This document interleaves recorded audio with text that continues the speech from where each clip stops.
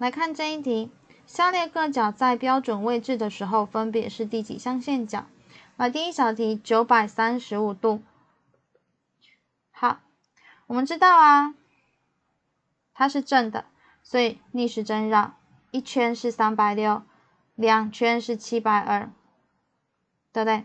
那九百三十五，七百二，还要再绕多少？感觉很靠近哦，还要再绕两百一十五度。好，所以呢，我，所以呢，我绕了一百八到这里，再多三十五，可以吗？一百八再多三十五，这一段是两百一十五。好，所以你就可以知道它是属于第三象限角。好，来再来第二小题啊，负负那就是顺时针喽。来，一负一圈是负三百六，对不对？所以负五百，来加三百六之后剩下负一百四，所以呢我就没有负到一百八了，我就是负到这里。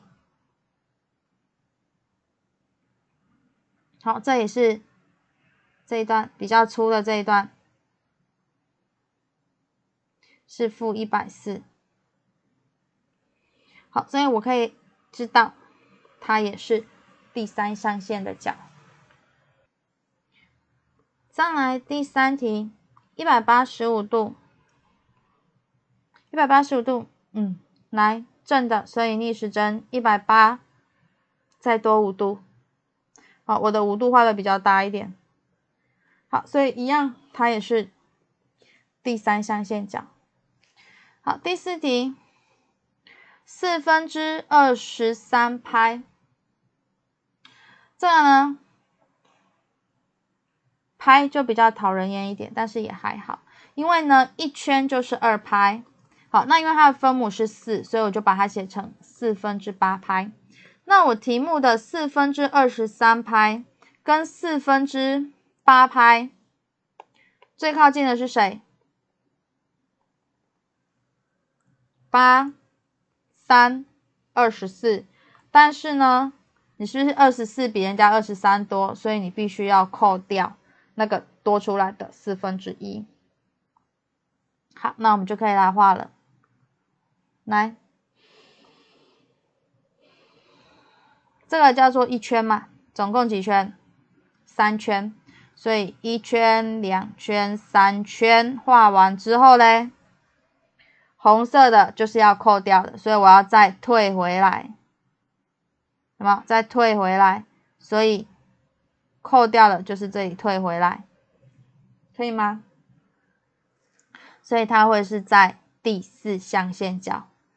好蓝色的绕到这边四圈之后，呃，三圈之后，再扣掉红色的这一小块，四分之拍。